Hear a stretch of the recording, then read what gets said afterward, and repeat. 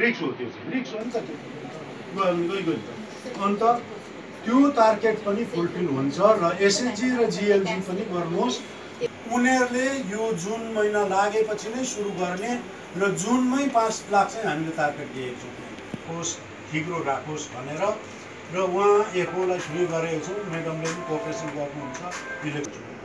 हो दस लाखभन्दा एभ प्रफिट हुन्छ। हाम्रो गाउँमै ब्याङ्किङ हुने यही नै एउटा चिज हो गाउँमा ब्याङ्किङ हुने हन्ड्रेड डेजको ग्रुप गर्नु र यही नै नेक्स्ट बिएलसीतिर पनि फलो गर्दै जानुहोस् र अहिले त्यो बकाइदा बोर्डले अब एकजना त चिठी पाउनुभयो गएर यस्तो पो होला होइन? बोर्डमा रेजुलेसन लिएर रेजुलेसन कपीसँग तपाईँहरूले पठाइदिनु भयो भने चाहिँ अँ, त्यो यहाँ फिल्ड अफिसरकोमा आउँछ। फिल्ड गाउँमा गएर गाउँमा त थाहा छ तपाईँहरूलाई होइन कुन कुन तर बोर्डमा चर्चा गरेर। हामी जेनरलाइज गर्छौँ माथि गएर। चाहिँ अँ, भाइ भन्दा चाहिँ दार्जिलिङ र कालेबुङ दुईवटा डिस्ट्रिक्टमा पच्चिसवटा खालको आयो भने त पच्चिसवटा त हुँदैन। तर त्यसलाई जेनरलाइज गरेर म्याक्सिमम् चाहिँ के खेती गर्दो रहेछ?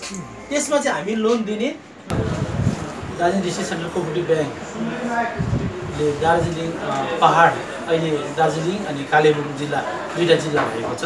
र यसमा एउटा महत्त्वपूर्ण कृषि क्षेत्रमा चाहिँ एउटा महत्त्वपूर्ण भूमिका निर्वाह गरेको हामीले पाएका छौँ। र गत हामी सात आठ वर्षदेखि हामी कोअपरेटिभ बोर्डमा पनि बसेर हामीले आज हाम्रो चेयरम्यानसँगै हुनुहुन्छ र हामीले जुन कुरा गरिरहेका छौँ र पच्चिस करोडभन्दा बेसी छ हजारभन्दा बेसी कृषकहरूलाई अहिले हामीले यो वर्ष जुन केसिसीमा किस किसान क्रेडिट कार्ड जुन भनिन्छ किसान क्रेडिट कार्ड त्यो अन्तर्गत नाबार्डद्वारा जुन सब्सिडाइज लोन सस्तो दरमा जुन इन्ट्रेस्टमा जुन लोन दिइन्छ त्यो दिएर र यसरी यो मात्रै नभएर कृषि क्षेत्रमा कृषि मात्रै नभएर कृषि संलग्न जस्तो कि डेरी भयो गाई पालनमा हामीले कृषकहरूलाई गाई पालनको लोनहरू दिएर सुँगुर पालन बाख्रा पालन माछाको जुन एउटा भारत सरकारले नै जुन एउटा हाम्रो देशमा चाहिने चिजहरू जति पनि डेरीको भए होइन पिगरी गोटेरी जति पनि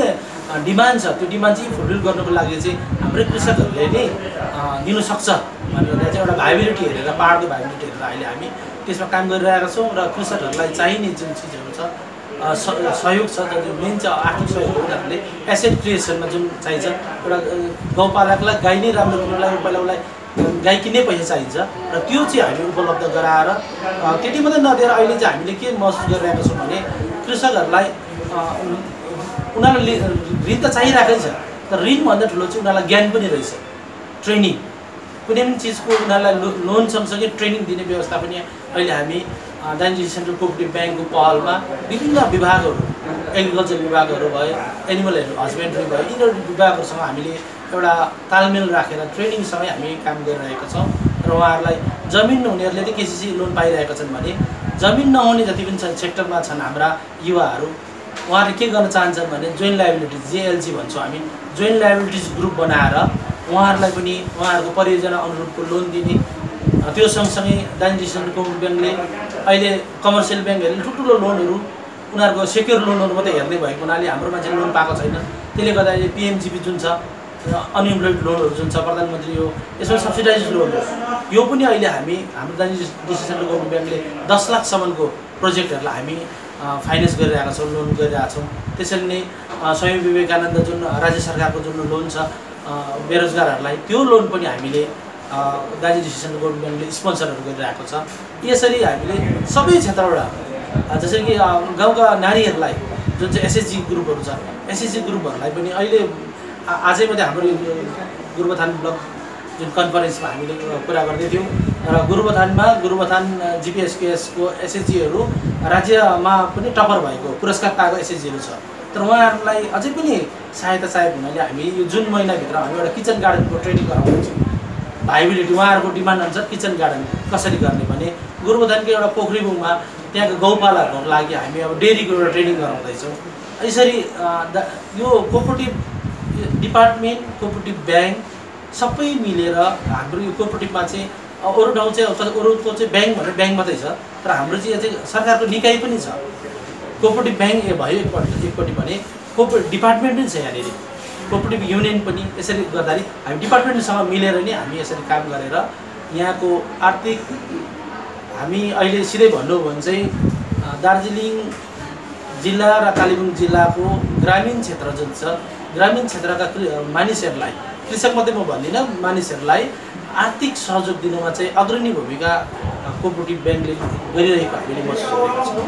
हामी यो बाहेक पनि हामीले अहिले अरू नन एग्रिकल्चर सेक्टरमा पनि दिँदैछौँ। आज चाहिँ स्पेसल्ली एग्रिकल्चर सेक्टरको मिटिङ थियो। है नन एग्रिकल्चर सेक्टरमा कर्मचारीहरू डिफरेन्ट टाइपको गभर्मेन्टको कर्मचारीहरू जो समूहमा छन् जस्तै प्राइमेरी टिचर भयो अलग्गै सेकेन्डरी टिचर्स भयो अरू गभर्मेन्ट इम्प्लोइहरू जो जो आफ्नो दफ्तरसँग सम्बन्धित छन् उनीहरूको एघारजना मिनिमम एघारजना ग्रुपको कोटिप इसिसिएस गठन गरेर त्यस्तो पनि हामीले लोन दिँदैछौँ। र प्रत्येक इन्डिभिजुअललाई हामी इसिसिएस लोन एकजना इम्प्लोइलाई तिस लाखसम्म दिने र त्यसमा जुन जुनसुकै टाइपको इम्प्लोइ पनि कोही पनि गभर्मेन्ट इम्प्लोइ उसलाई दिन सक्छु र हाउसिङ लोन पनि दिँदैछौँ हाउसिङ लोन गभर्मेन्टको त्यो स्किम सहितको लोन हो र त्यसमा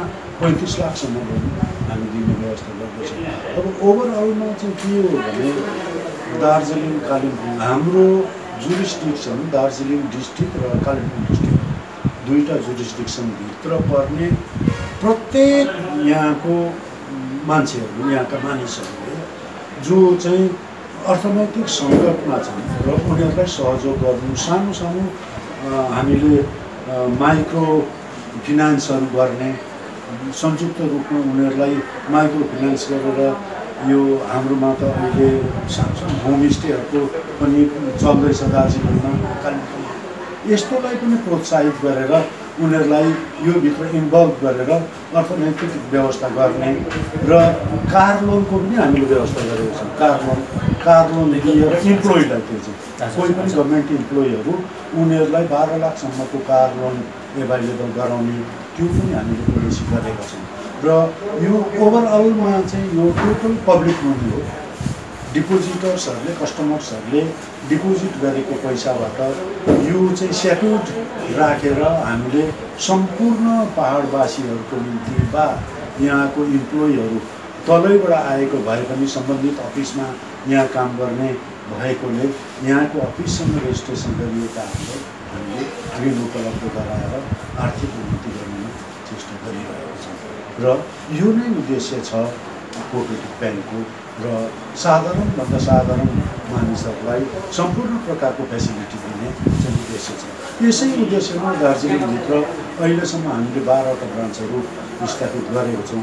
अब नजिकमा तिन चारवटा ब्रान्चहरू पनि नयाँ स्थापित गर्ने र अरू सहस्र कोअपरेटिभ सोसाइटिजहरू गठन गर्ने र टी गार्डनतिर पनि त्यहाँ टी गार्डनमा क्रेडिट कोअपरेटिभ सोसाइटिजहरू गठन गरेर उनीहरूलाई पनि हर प्रकारको सुযোग सुविधा प्रदान गर्ने प्रचेष्टा गरिरहेको छ। र यो नै चाहिँ कोअपरेटिभ ब्याङ्कको उद्देश्य छ।